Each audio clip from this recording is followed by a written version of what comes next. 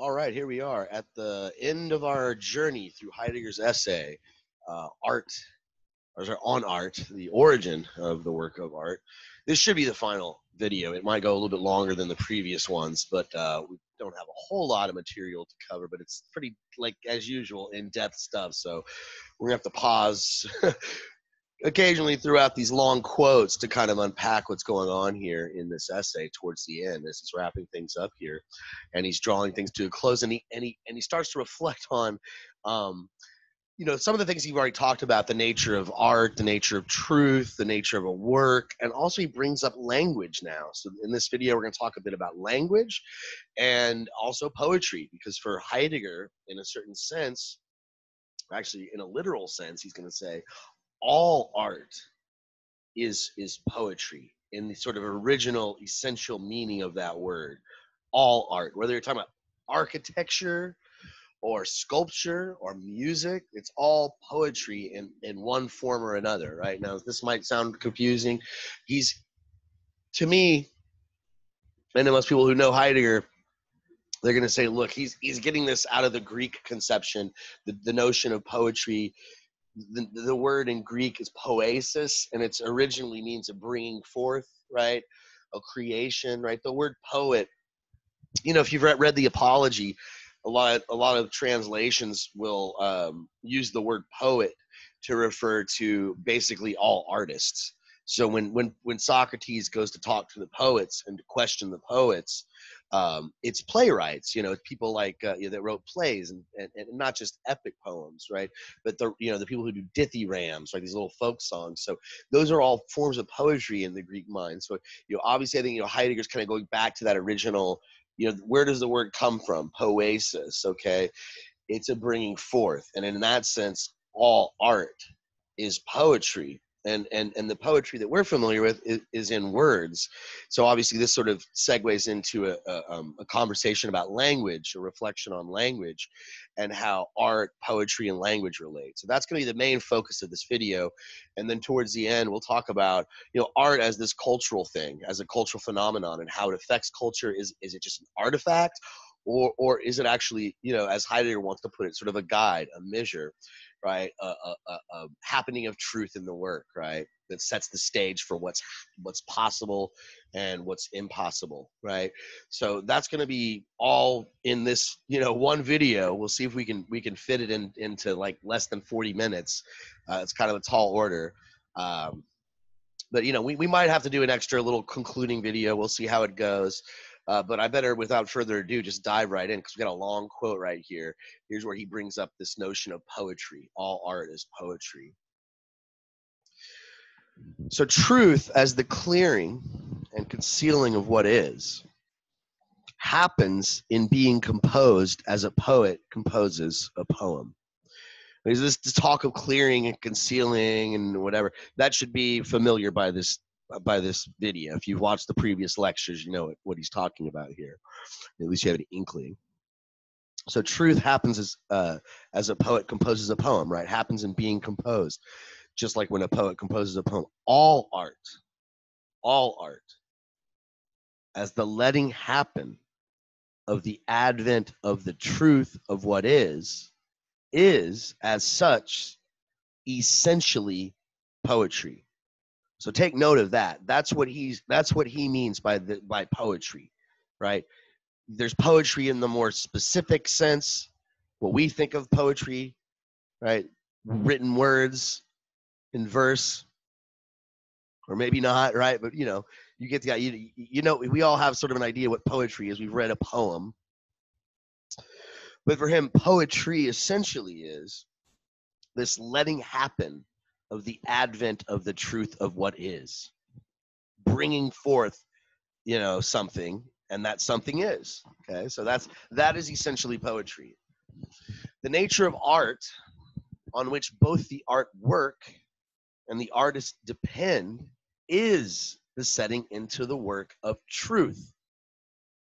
It is due to art's poetic nature that in the midst of what is art breaks open an open place, in whose openness everything is other than usual. We talked about this in previous videos, particularly the last video more than any, right? The work of art it breaks open an open place in whose openness everything is other than usual, right? So it comes into this world and it and it and it sets a precedent um, that has never been seen before. It's its own unique object and and expands the realm of possibilities.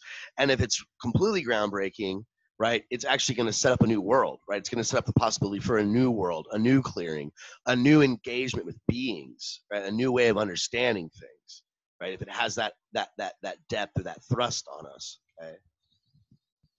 So it's due to art's poetic nature that in the midst of what is, art breaks open an open place in whose openness everything is other than usual. By virtue of the projected sketch set into the work of the unconcealedness of what is, which casts itself towards us, everything ordinary and hitherto existing becomes an unbeing, right? So, in other words, the work of art makes us completely reevaluate, right? If it's if it's that if it sets up a world for us, it makes us reevaluate the truth of all that is and some things are no longer relevant right? Once maybe once once a work of art brings some sort of truth forward um, it sort of it unconceals something that was previously concealed and it shows the flaws in a previous way of seeing things so that we can never see them that way ever again.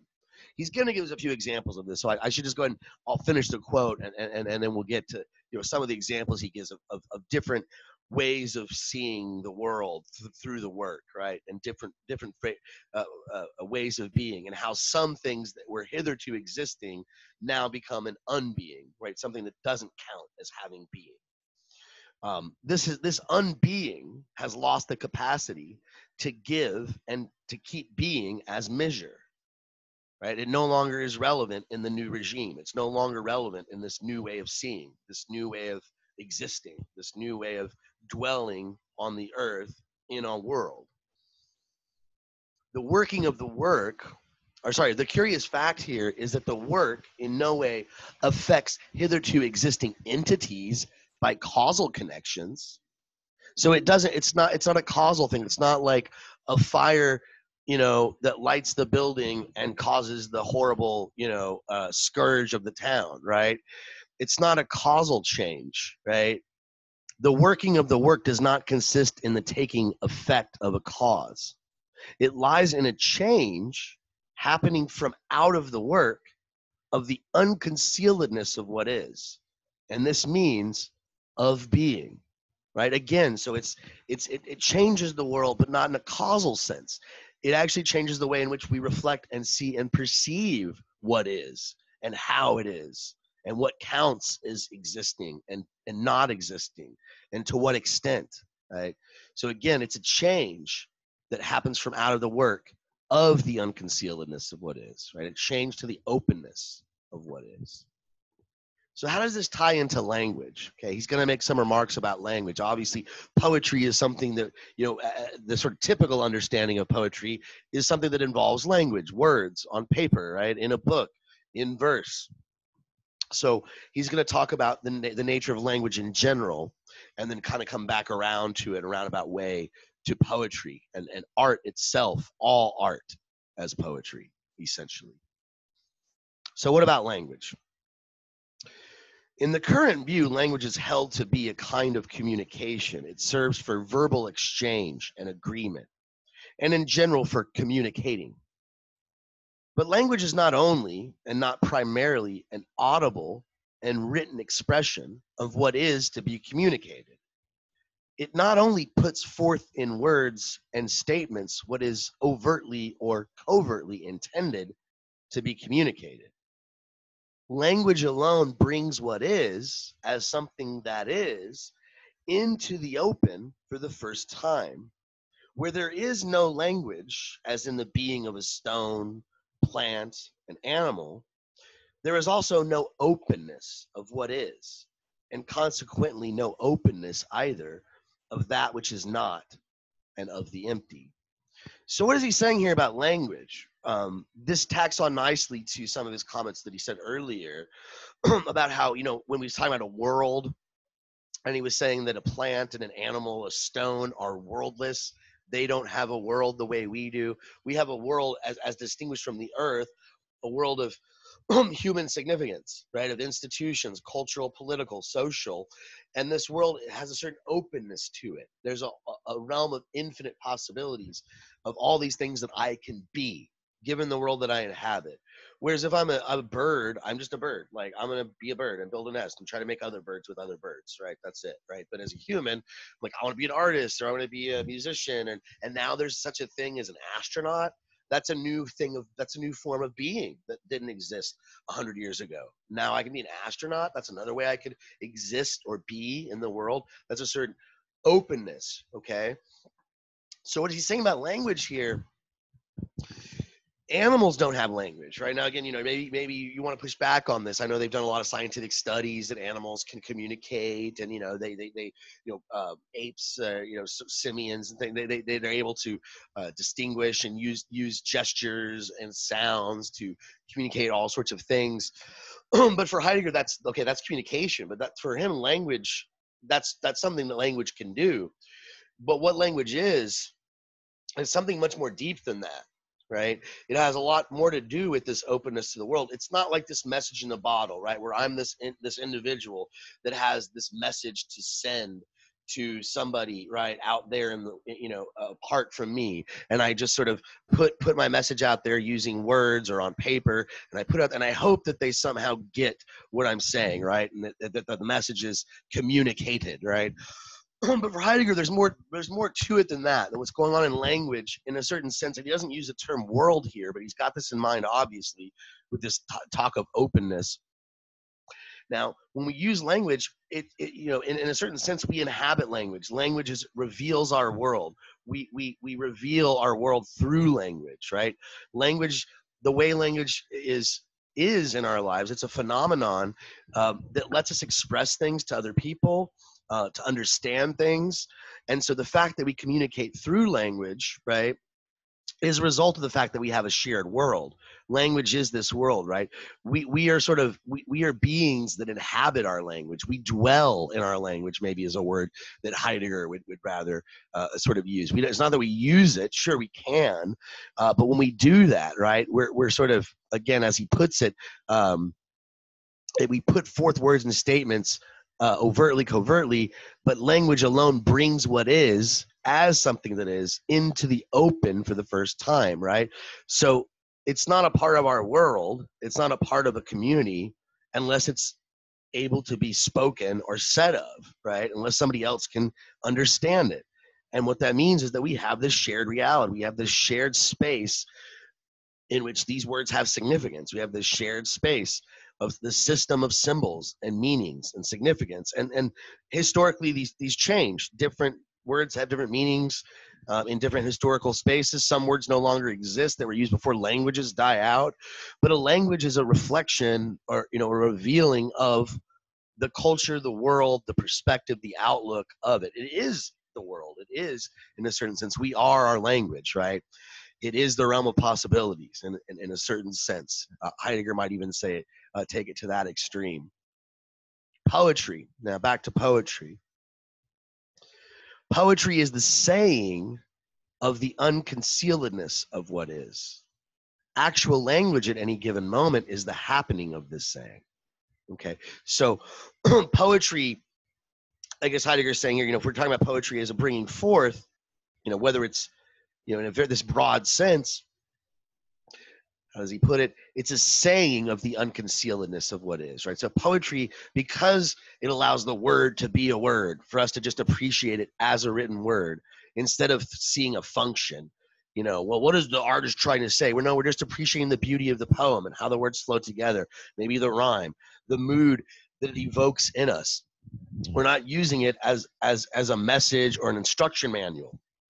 Right? That's not really the point of the poem, Heidegger's going to argue right? What the poem does what poetry and what art in general does right? If art is poetry it's a saying right? It's a it's a telling of the unconcealedness of what is. It shows you that world. It shows you the way that things are unconcealed and revealed to us right? It brings that to the fore. It strikes you that way.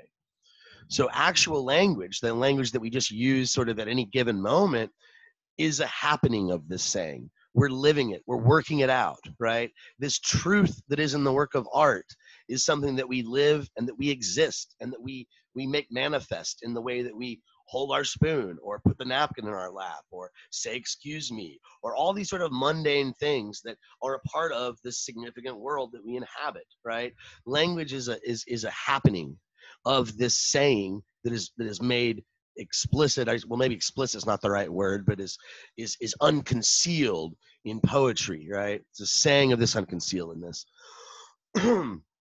So again actual language at any given moment is a happening of this saying in which a people's world historically arises for it and the earth is preserved as that which remains closed right? Here's the earth again right? So so language you know it's a happening of the saying of poetry right? The truth that is revealed within the, the poetic expression of art the world in which we inhabit language is, is a working out is a lived experience of this right? Is an inhabiting of that space okay? In which as he puts it a people's world historically arises for it and in which the earth is preserved as that which remains closed right? There's always that unknown element that that impenetrable earth, right? As much as we try to survey it, as much as we try to understand it, brute fact, brute nature is always going to sort of leave something unanswered, right? Projective saying is saying which, in preparing the sayable, simultaneously brings the unsayable as such into a world. So we talked about, I've already sort of alluded to this earlier in the video, and I think maybe in the last video, that the work of art brings something into the world that was previously unsayable, right? Something that was the world itself didn't have space for, right? That it had never been said before, and because of the way the world was structured, maybe it was it was not obvious, and in, in fact, maybe not even possible to say it. The work of art brings this this possibility uh, into the open for the first time, right? So, in such a saying, he says you know, when it brings the unsayable into such a world, such as saying the concept of an historical people's nature, in other words, of its belonging to world history, are formed for that folk before it. Okay, so that that what and and maybe you know, for me, I think Heidegger, you know, his standard here is pretty high for art. If, if art is supposed to do this, it, all art, I don't know if he's saying all works of art are supposed to do this, um, that's a pretty high standard, right? That, that art is supposed to transport us, to make us aware of our world, and in its greatest and most um, excellent sense, the, the greatest works of art are going to completely move history right? We're going to see things differently. We're going to see possibilities differently. And in fact it's going to shape our history. It's going to shape our identity as a cultural people poetry is thought of here in so broad a sense, right? So again, he's applying it to everything. Poetry is this bringing forth. Uh, how does he put it exactly? Um, it's a letting happen of the advent of truth of what is. Okay, so poetry is thought of here in so broad a sense of bring an advent of the bringing forth the truth of what is, right? So broad at the same time in such intimate unity of being with language and word that we must leave open whether art in all its modes, from architecture to poesy, exhausts the nature of poetry, right? You know, so he's, I think he's sort of anticipating his reader to be a bit of a skeptic here, right? It's like all art is poetry, architecture is poetry. What? Everything? Okay what are you talking about right? How is this building lang how is this language? This structure's you know it's amazing work of art here right? There's the great court in the british museum. This is amazing right? Um how is this poetry? How is this language? How is this the um, as he puts it bringing forth right? Um as he put it, the the the letting happen, sorry, of the advent of truth of what is. How is that? How is that in in in a building, right? Well, language itself is poetry in the essential sense. If language is, as he truly says, this revealing of a world, right? If language is is this uh, you know place where what is as something what as something that is is in the open for the first time once people can say it, communicate about it, talk about it, express it, see it, understand it, be a part of it together, once it's it that that means it's in language and that means it's a part of our world. Okay, so if that's the case, right? If language itself is poetry in this essential sense, right? The essential sense, right? The letting happen of the advent of truth of what is. If language is that, if it's if it's poetry in the essential sense, then architecture is poetry. And sculpture is poetry. And the painting of Van Gogh is poetry, right? So he does he thinks this. The language itself is poetry, but but since language is the happening in which for man beings first disclose themselves to him each time as beings right? Since since language is what allows a certain thing to really inhabit what we would call a world in the heideggerian sense right? It is the most original form of poetry in the essential sense right? Poesy is the most original form of poetry in the sense. Let me back up and reread that. I really kind of misfired on that. So again language itself is poetry in the essential sense but since language is the happening in which for man beings first disclose themselves to him each time as beings, as an existing thing, poesy or poetry in the narrower sense, in the most original form of poetry, sorry, is the most original form of poetry in the essential sense. Okay. So what we think of as poetry, reading a poem out of a book, is the most original form of this bringing forth right? Because because it's it's it's a form of language i think is this sort of argument here because poetry you know sort of the, the traditional understanding of poetry you know the william blake the shakespeare sonnets the homer po- the epic poems of uh, homer you know for him that's the original form of poetry not just in its own sense, the sort of standard version, the standard definition that we go with, but it's the original form of poetry in this broader sense in the sense of, you know, I keep having to go back to this quote because I keep forgetting the letting happen of the advent of truth of what is. Okay, so it's it's the first time you know that's the first form of of, of the poetry poetry proper. The way we talk about it is the original form of poetry in this broader Heideggerian sense, um, and and language itself is is is a happening of this saying, of this advent of truth, right? It's a working out. It's again, we inhabit language. That's why I love this little drawing here. People walking through the city, it's just a bunch of words. The, the buildings are made out of words, right? The world we inhabit, right, it, it is there because we have a language, and language in the super broad sense of sharing a, a, a shared system of meanings, a shared system of of um, of symbols and meanings and significance and possibilities, and all this stuff, right? This, in a, in a very broad, sort of naked sense, is speaking language, you know, in, in, in this Heideggerian sense, a sort of openness to what's possible and a realm of possibility that's that's set forth through language.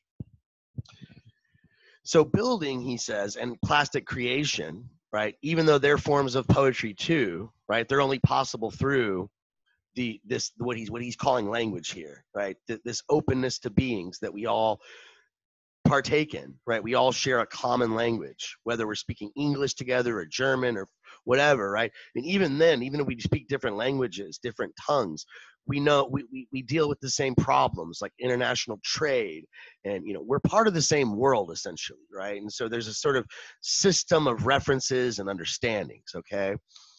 The fact that there's a system of references and understandings and all that that is that is that is alive and living and lived every day through our language that is the basis for all other poetry you know in the sense of creating and bringing forth uh, such as building he says plastic creation these always happen already and happen only in the open right the realm of possibility of saying and naming it is the open, right, this realm of possibility that pervades and guides them. But for this very reason, they remain their own ways and modes in which truth orders itself into work.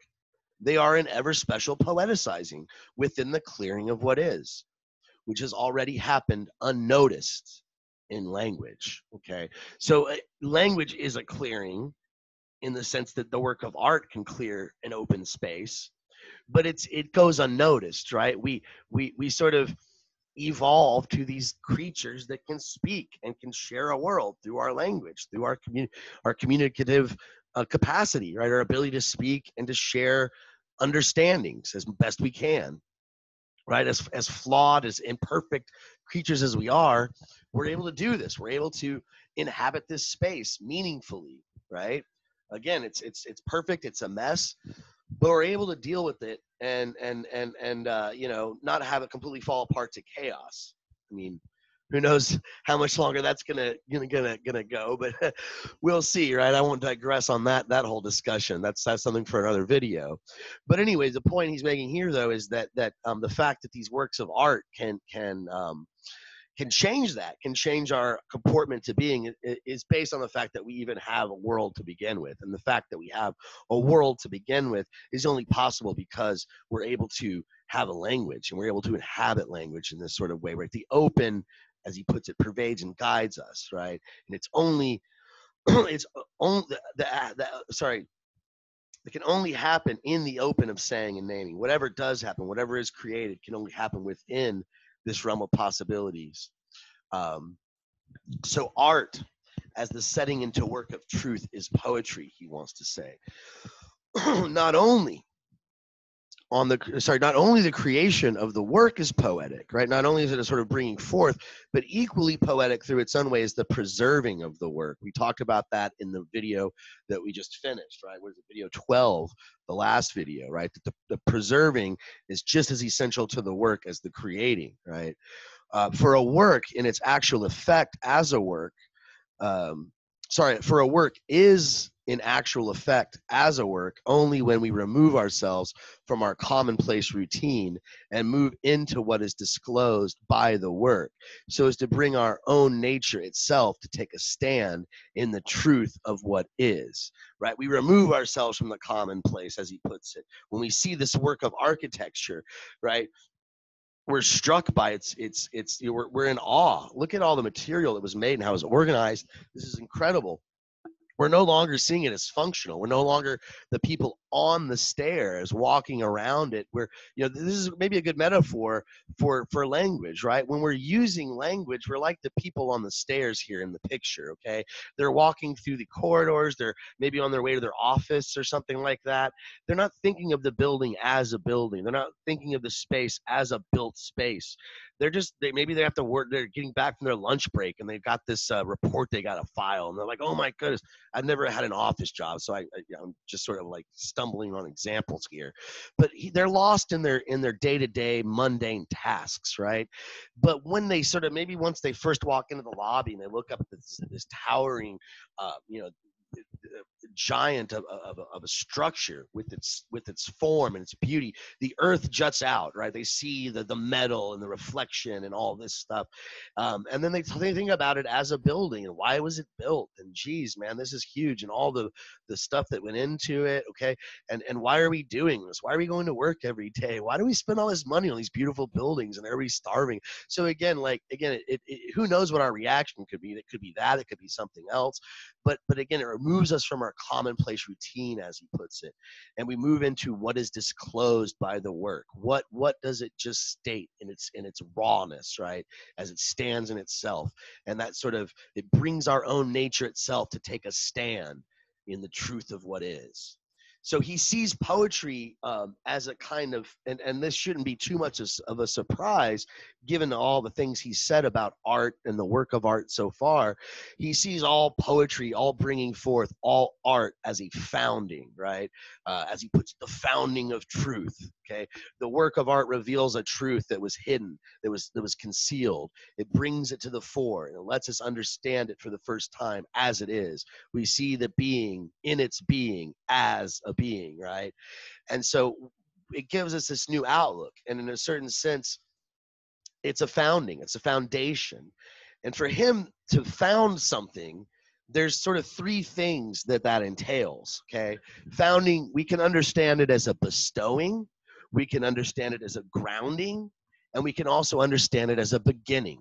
And he wants to say that the work, insofar as it's poetry, insofar as the work of art is poetic, is a founding in all three senses of the word. Okay, so what what is what does he mean by a bestowing, right? So he says that you know the work of art discloses itself, sorry, truth discloses itself in the work that can never be proved or derived from went from what went before.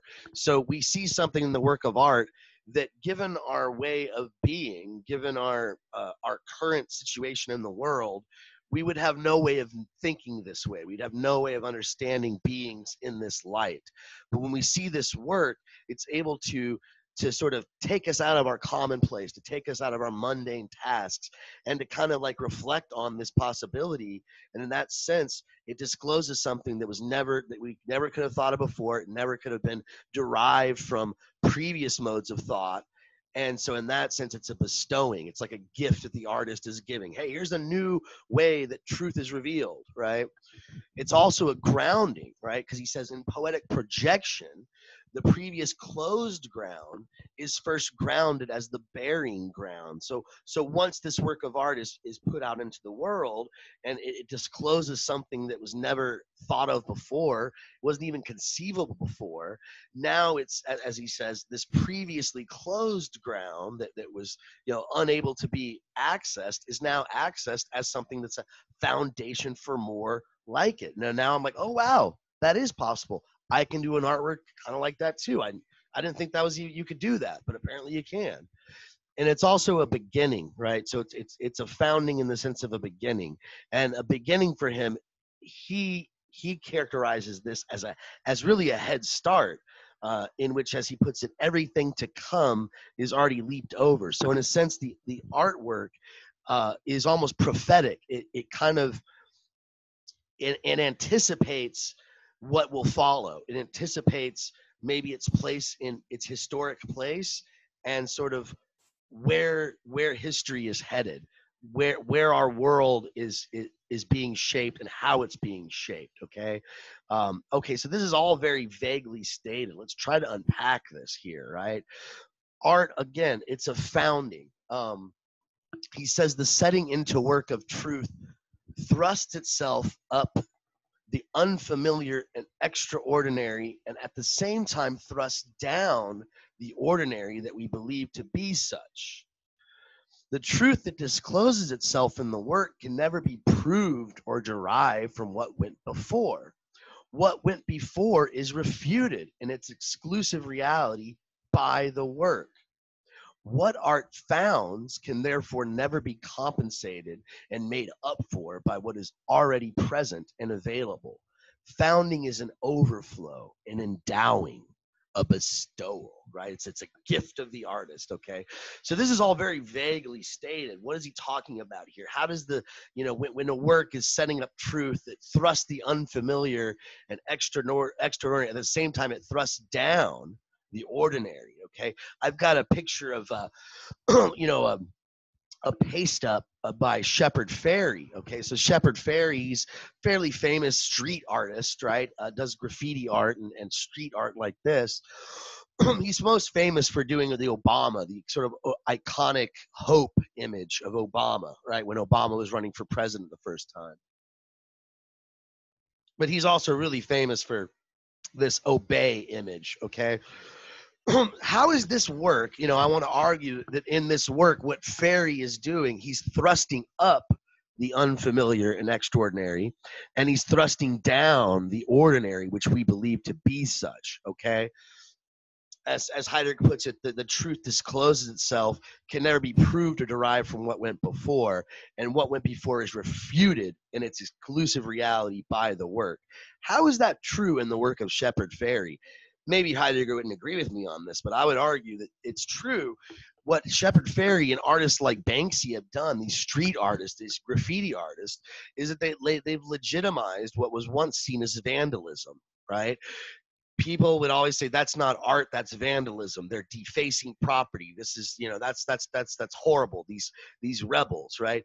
And for years, right? I mean, it wasn't until very very recently um, I, I don't want to put an, a year on it and, and, and, there's still people that don't appreciate it right? There's still there was some guy who uh, famously uh, i forget the whole story but he he um, you know banksy was kind of trolling him i think because he kept uh, erasing banksy's paintings or his graffiti and banksy would just sort of like put it up the next day and the guy would clean it and put it up the next day and then he started kind of like adding little messages and kind of screwing with the guy, kind of trolling him.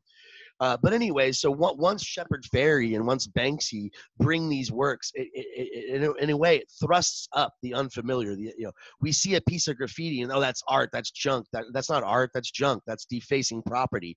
But now we're like, oh no, look, it's cool. It looks nice. It actually adds character. It's a part of you know our world now. It's actually it's actually something that's possible. Okay, and it, ref, it refutes that that previous understanding right? What went before is refuted in its exclusive reality right? Oh no no that's just graffiti. Now it's that that sort of view of seeing things is is challenged right? So so founding is is a bestowal right? He brings the possibility and no no graffiti can be art okay? So you know what you call graffiti what you call vandalism this is actually art okay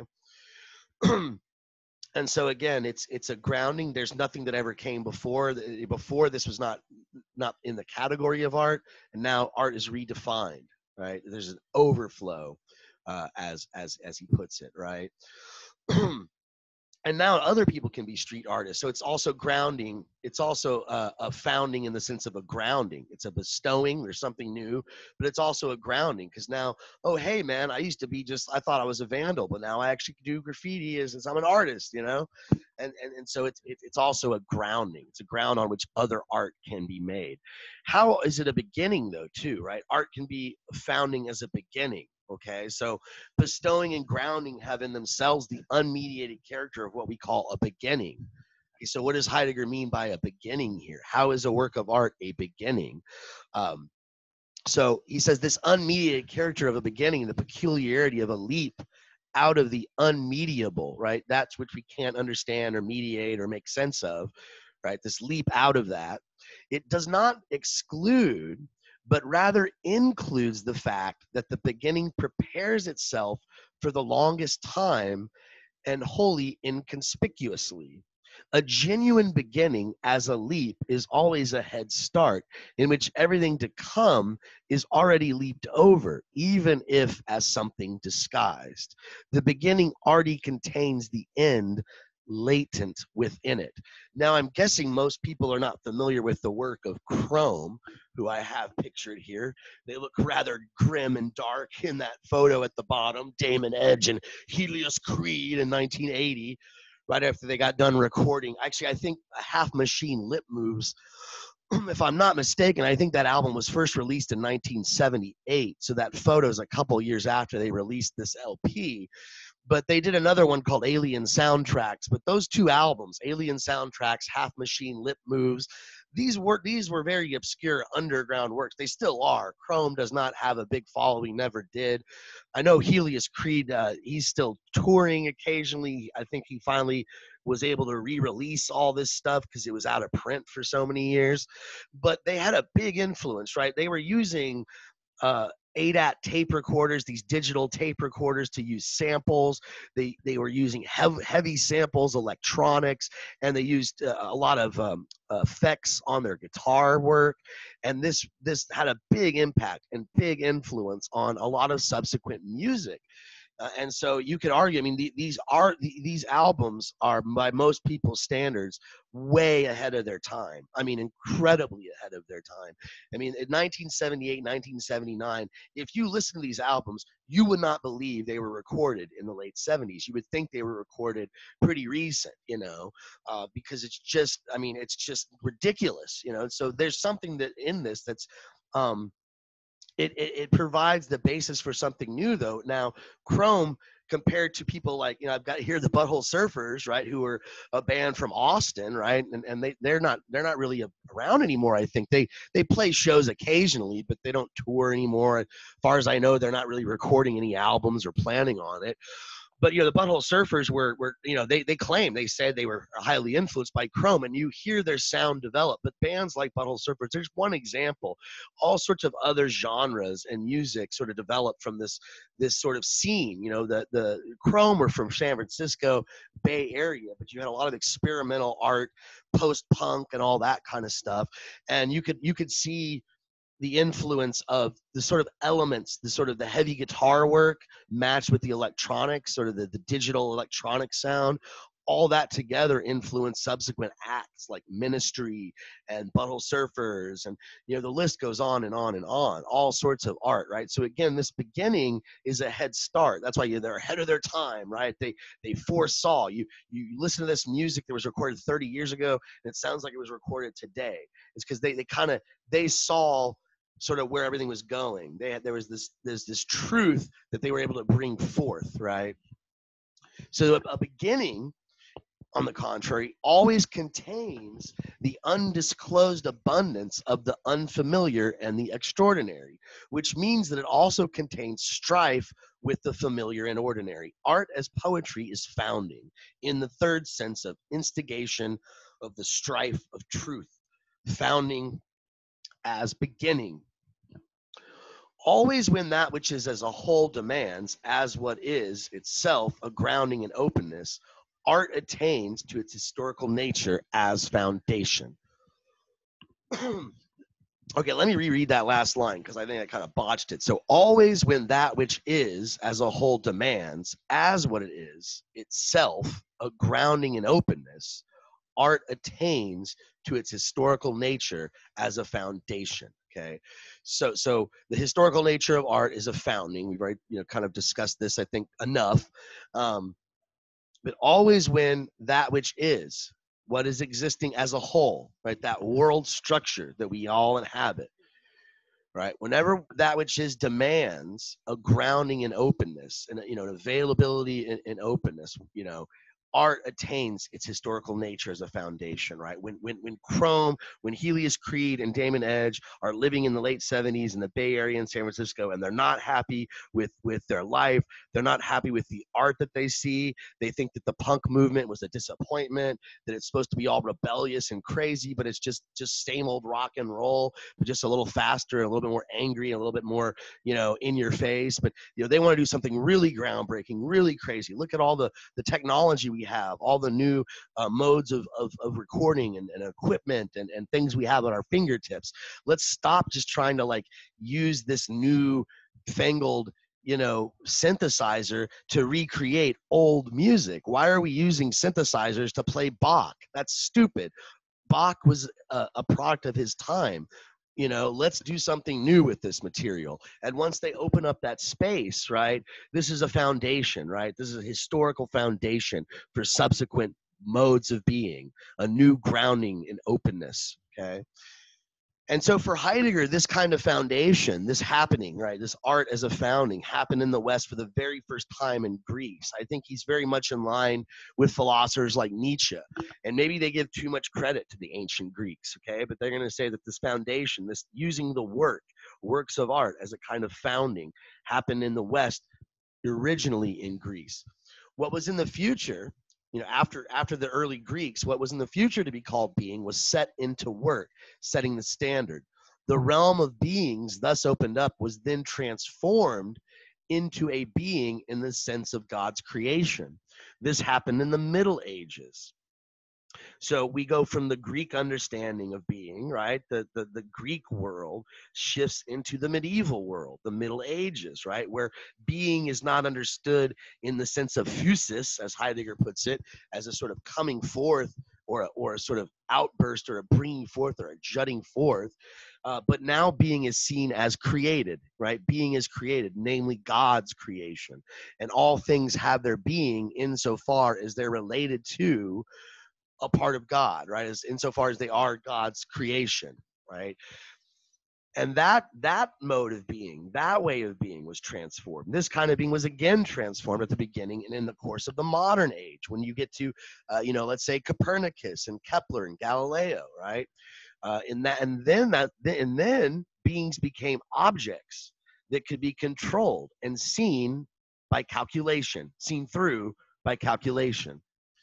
At each time, a new and essential world arose. Okay, so the Greeks had their world, the Middle Ages, the medieval people had their world, the moderns, we moderns, are the post Copernicans, we have our world. Okay, at each time, the openness of what is had to be established in beings themselves by the fixing in place of truth and figure right? It, by that in that rift design that he talks about right? The openness of what is had to be established in beings namely these works of art themselves by fixing in place the truth in figure right? You know remember for heidegger art is a setting in tr- you know setting into the work of truth a happening of truth. At each time there happened an unconcealedness of what is unconcealedness sets itself to work, a setting which is accomplished by art. Art, as founding, is historical, essentially historical. This means not only that art has a history in the external sense, that in the course of time, it too appears along with many other things, and in this process changes and passes away and offers changing aspects for historiology art is history in the essential sense that it grounds history right? So when heidegger says that that that uh, art is historical he wants us to understand here it's not you know a, a, a, sequence in time of events of whatever sort however important right? Uh, but uh, we had this art movement the impressionist and then you had the post impressionist and then you had the you know the expressionist and the abstract expressionist and then you had the dadaist and you know, yeah sure yeah you can think of art in that sense as a part of like a sequence of events. But he wants us to understand it in a much deeper sense that art is history in the essential sense that it grounds history right? It's a way of bringing truth right? Bringing truth into being right? In the work. Bringing setting forth sorry setting forth the earth and setting up a world right? It's the tra- as he puts it it's the transporting of a people into its appointed task as entrance into that people's endowment right? It makes us aware of the worldly creatures that we are and the world we inhabit makes us reflect on it and our, our appointed task in this process. We inquire into the nature of art. Why do we inquire in this way? So he's now he's asking, why do we give a crap about art? Right? Why is it important? Why, why do we waste all this time in this essay? Now we're starting to finally get to the end of it. Why? What? Who cares about art? Right? A lot of people don't. You know, you know, I, I a lot of most people that I talk to when I when I talk about my passions and you like to go to art museums, really? I, I, go, to art openings, sure, yeah, because there's alcohol. It's like a party. Uh, there's, there's, gonna be a DJ there. Is there gonna be drinks? You know, people like art. Who gives a crap about art? Why should we spend all this time thinking about art? Well, here's Heidegger's answer, right? And I don't know if it's going to be the clearest answer, but why? Why do we ask about the nature of art? Why do we inquire this We inquire in this way in order to be able to ask more truly whether art is or is not an origin in our historical existence, whether and under what conditions it can and must be an origin. And such reflection cannot force art and its coming to be but this reflective knowledge is the preliminary and therefore indispensable preparation for the becoming of art. Only such knowledge prepares its space for art, their way for the creators, their location for the preservers. So what is he saying here? Why why should we care about art? Well, we want to be able to be be you know more truly understand it as an origin right to be able to actually let it work to actually have this effect on us and to know under what conditions it can be this right? What under what conditions does a work of art actually do this? Actually work as a founding as a foundation as an opening up of, a, of possibilities of the way that beings can be. So we have to understand that art has this capacity because if we don't know that we won't be ready for it right? And and and and the fact that we've we've gone through all this stuff for Heidegger, it, it doesn't mean that we can force art to happen, right? This is not an essay. He's not expecting artists to read this essay and go out and make art according to his standard, right? It's not going to force art and it's coming to be. But as he puts it, this knowledge, this reflective knowledge, this thinking about art and the nature of art, it's a preliminary. It's a preliminary. It's it's a prerequisite and it's indispensable for art to be art, for art to do what art has done, to have this movement, to, to, to have this significance, to have this impact, to open up the space that it does. In order for that to be a thing, for that to be possible, we have to be aware that it is possible. So this knowledge prepares its space for art, the way for the creators, the way, the location for the preservers in such knowledge, which can only grow slowly, right? We have to sort of, we can't just sort of anticipate it. We can't just, oh, is that it? Is that art? Is that is that work? Is that what he's talking about? Right? It's something that that that's that that is maybe somewhat insidious. Who knows? but in such knowledge, right, in such preparation for art, which can only grow slowly, the question is decided whether art can be an origin and then must be a head start, or whether it is to remain a mere appendix and then can only be carried along as a routine cultural phenomenon. Heidegger, I think, is scared about this. Yeah, I, and I think he shares this concern with Nietzsche. This didn't really come to the fore in our exploration of Nietzsche because it's it's really not something he talks about in in in in Birth of Tragedy so much, but you find it in his later work. And I think that Heidegger and Nietzsche share this concern. Has art become something that it is not? In other words, all this great stuff they're talking about, you know, how art reveals truth for Heidegger, or how art is a reflection of culture for Nietzsche, right? Uh, and it has this sort of, you know, it, it, it not only is a reflection of culture, but it, it's a guide for culture, right? It sort of gives us hopes and dreams and a sort of framework and a structure within which we can have morality, we can have, we can have values, right? They're both i think concerned with the the fact that this might no longer be the case right? Now art has become as heidegger puts it a routine cultural phenomenon right? We've got this norman rockwell painting here of the the art connoisseur right? I'm gonna go appreciate art and then i'm gonna go have a picnic in the park and then i'm gonna go home and watch a movie. You know so it, it doesn't have that thrust that heidegger speaks of right doesn't transport us. It doesn't present truth. The truth is not at work in this case. Right? He mentions this quote from Hegel. And Hegel seems to sort of think, yeah, it's over, right? This game of art is over. Art as truth, not not anymore. So what does Hegel say, right? Hegel was a big influence on Heidegger. So, you know, even though I don't think I don't think Heidegger wants Hegel to be right, Heidegger still thinks maybe he is, maybe he is. But what does Heidegger say? Art, art no longer counts for us, Hegel says. Art no longer counts for us as the highest manner in which truth obtains existence for itself. One may well hope that art will continue to advance and perfect itself, but its form has ceased to be the highest need of the spirit. In all these relationships, art is and remains for us on the side of its highest vocation, something past. So for Hegel, art must have at one point in history served this function of drawing together our, our culture, I mean, giving us a framework from which we can sort of inhabit a space that has meaning and purpose, a world, in other words. But it no longer does this, right? This is something of the past.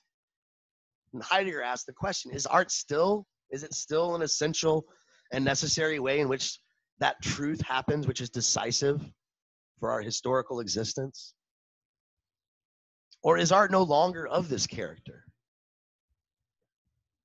If, however, it is such no longer, then there remains the question why this is so. The truth of Hegel's judgment has not yet been decided.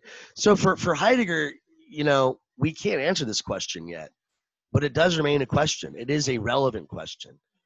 And the fact that it's a relevant question, right? That's something we need to ask. You know, if art doesn't have this, it no longer has this function? Why? Why not? What's happened?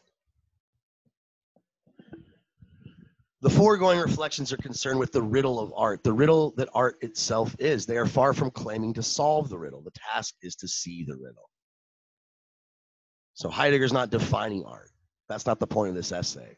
The point is for us to reflect on art. And at the end of the essay, we have to reflect on the role of art in society and the role that it plays in our conception of the world and truth. And much to, I think, Heidegger's lamentation, this is an open question, right? Does it affect us in this way? Right? Maybe not. this ties in a lot to his critique of technology, which I won't get into because this is the, the class that we're covering. This is all philosophy of art. But before I get to, to my sort of closing remarks and kind of wrapping things up for the course, let's kind of wrap things up with Heidegger. You know, what are some problems here? I think I've mentioned this a few times throughout these lectures. As much as I admire Heidegger and his thought, I really like some of the stuff that he says, thought provoking work. You know, there's I, I still have my gripes, and you may too, right? I hope you do. I hope, I hope you've got your own gripes with with some of this stuff. One thing I think is he's a little too specified, right? It seems like every, you know, does every work of art have to do this? Does every work of art have to set forth a world, or sorry, set forth the earth and set up a world? right? It almost seems like his um, theory is too specific. It's too specified, right? It's like not much will count for that, right? Like that's a pretty high standard. Um, this is kind of the opposite problem that we saw with Dewey. I think Dewey, John Dewey's theory of art, I would argue, is too general. It's too broad.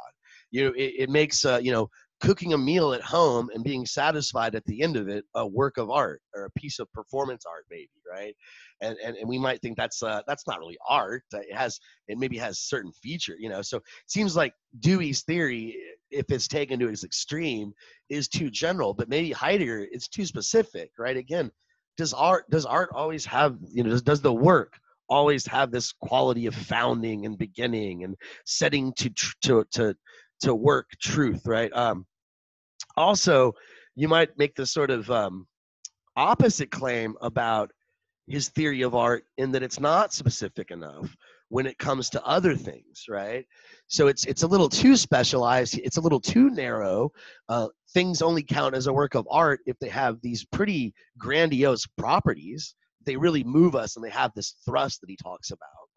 But when it comes to like determining whether or not a work of art lives up to this standard, and under what conditions this standard is met, he's not really that clear about it. He just gives us a few examples of works of art the Greek temple, the poem, uh, the Roman fountain poem, the uh, Van Gogh painting, but he doesn't really lay out any sort of specific standards. Now, of course, he's probably going to say, well, of course we can't do that, right? This is not what art art sort of brings to the fore something that is not able to be expressed in terms of standards or whatnot. So perhaps, you know, the fact that I want him to bring me some standards and some conditions under which these standards can be met is actually a problem with me, not a problem with his theory, right? I'm thinking of art in the wrong way, uh, is probably what his response to that would be. And again, another problem you might think is that, well, isn't there a way in which artworks can still be beautiful? They can still work in the sense of, you know, I'm not saying beautiful in in in, in the general sense, but beautiful in the specific sense that he means it, right? Um, can't they be beautiful? Don't we actually aren't we struck by them? And and think of them as objects of beauty. Aren't there other conceptions of beauty besides this this work that he's talking about this workly character of the the work of art? In, in other words this setting forth of the earth and this the the, the um the setting up of a world um, and again, this is a question that he himself admits needs to kind of remain an open question. He's not quite sure the answer. I think he seems to sort of be leaning towards the negative answer. He doesn't want to, but is art really something that is no longer relevant in the sense that he thinks it's relevant, right? Is his understanding of art something of the past, right? Do we care about art the way the Greeks cared about the Parthenon? right? Do we appreciate a great work of art and, and, have it affect us and be a part of our world and reveal the world to us in the way the Parthenon did to the ancient Greek, or the way that uh, you know I don't know some other work of art might for some other uh, culture, right? The Greek tragedy for for some of the Greeks. Okay, um, again, if it is still relevant, how is it relevant? We need to figure that out. How is art still relevant in society? You might look to these Shepard Fairey uh, you know this is art right? This is a part of our world. We live in a world where art is on the streets right? Not in the galleries right? It's raw it's real it's visceral. This is sort of a you know a statement of our times. This reveals a world right? Maybe art is still relevant in this sense. Maybe heidegger's he, he's got there's some hope for heidegger right? Maybe it's still relevant but maybe it's not. How many of y'all have ever heard of any of these artists i've mentioned right sure you probably heard of Picasso and maybe Jackson Pollock and some of the famous ones, but throughout this whole series, right? How many of these uh, these artists and works of art have you heard of? Right? I'm a nerd. I like I like art, right? But you know, people don't realize that when Michelangelo unveiled the David, everyone was there. I mean, it was like a you know the Super Bowl. You didn't miss it. Okay. How many people go to art openings? Whenever there's a symphony that's that's composed and performed for the first time how many people know that that's the case? Houston symphony beautiful wonderful world class symphony. They do premieres every year right? Sometimes several times a year. You know they'll have a world premiere of a piece of a modern day composer. You ever heard of any can you name can you name one modern day composer but you might say, well, those are old, outdated works of art. You know, classical music is no longer relevant now. People are into rock and roll, hip hop, whatever, and so those are relevant. But think about it, right? How how long has rock and roll been around? Know, since the late '50s, 1950s, and it's already pretty much dead. I mean, in my mind, that's that's that's debatable, right? But I mean, it's it's kind of like not the thing it used to be. It's not as big as it used to be. Now hip hop is the big thing who knows what's next, right? How long is hip hop? So hip hop hip hop's only been around since the 1980s, right? So, you know, is you know maybe these worlds that Heidegger speaks of keep changing, right? It's just changing at such a rapid pace, right? I don't know. Maybe maybe this is a problem with with our, our understanding.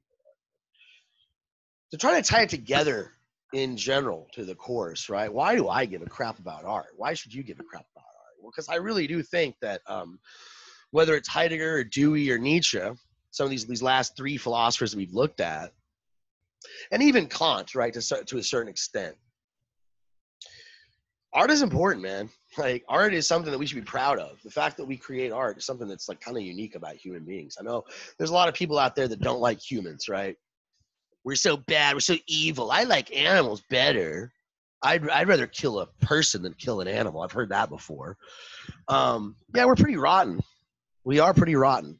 Um, we've done some pretty horrible things, but we made art. you know, that's freaking amazing, man. Like that's really there, there's no purpose for it, and yet we do it anyway. Why? It's beautiful, right?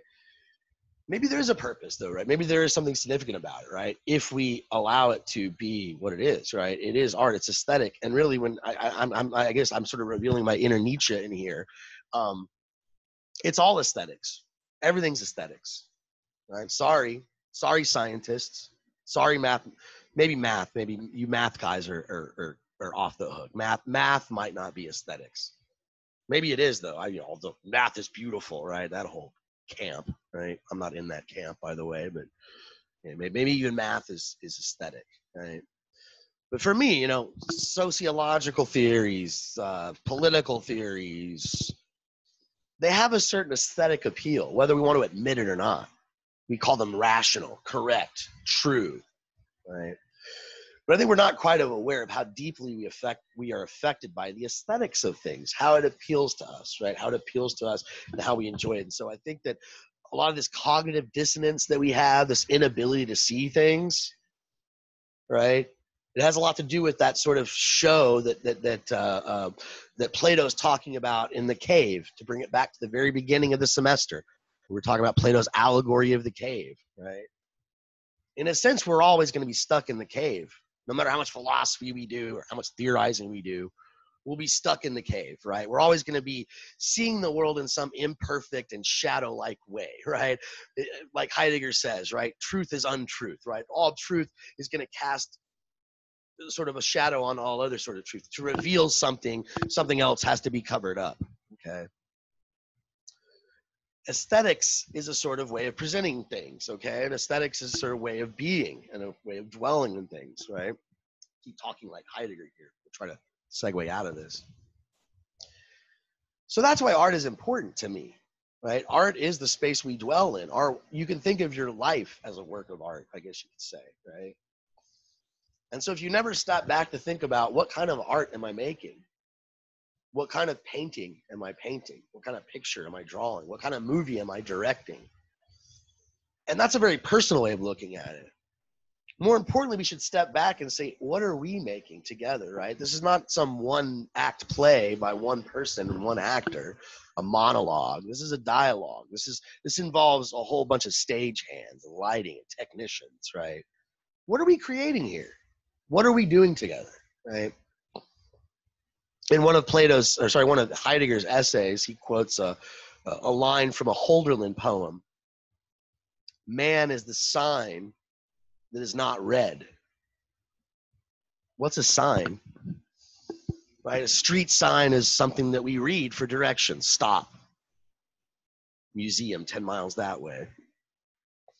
We read a sign, right? But we're we are a sign. Man, humans, human beings, we're a sign.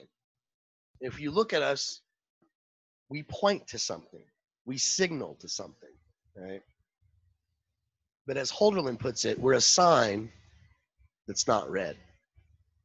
Art forces us, I want to argue, and I'm kind of with Heidegger on this, art forces us to read that sign, to step back and reflect on our world. And in a sense, to see our world itself as a product of aesthetics right? And to ask ourselves, is this the painting we want to paint? Is this the picture that we want to draw? Is this the movie we want to direct? Are there other ways we could direct it, right? So that's why I think art is important. And That's why I think studying art, understanding art and aesthetics is important, right? Political, social, psychological, all sorts of reasons, right? If we're ever going to solve our problems, right, it's not going to be an easy thing to do by calculating it, putting it in a formula and explaining to somebody in some, you know, long drawn out book with, you know, point A, point B, point C. If you have this aesthetic presentation, this visceral sort of, you know, this, it's, it's a more direct and more effective way, I think, of revealing the way the world is to people and revealing the way the world can be. So I've already rambled on, I think, enough here those of you who are just watching it for Heidegger probably stopped watching a long time ago.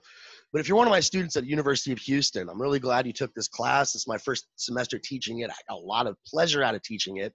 Probably a little bit too much pleasure. You see the, the length of some of these videos. I got a little carried away. Um, but I'm really glad that you were here. I'm sorry that everything had to happen with the COVID uh, 19. This is a really crummy I really hate the fact that I'm teaching this online the first time. At least half the semester was online. I love being engaged in the middle of the classroom and, and, and, and really seeing how this material works itself out in that context. So hopefully next semester we'll get a chance to do that. You know, some of my, my future students, you know, they'll be able to benefit from these videos. But for those of you who are just here for the ride, you know, that's awesome. Thanks for sticking around to the end of this video. I know this was a long video, but I had a lot to do to finish up. It's been a fun ride. Thanks for checking us out. I've got more material probably coming down in the woodworks. I'm probably going to put a my uh, world religions class up here this summer so you got that to look forward to. So if you haven't already subscribe hit like all that good stuff and um, you know thanks a lot. Hope to see you guys on the other side. Cheers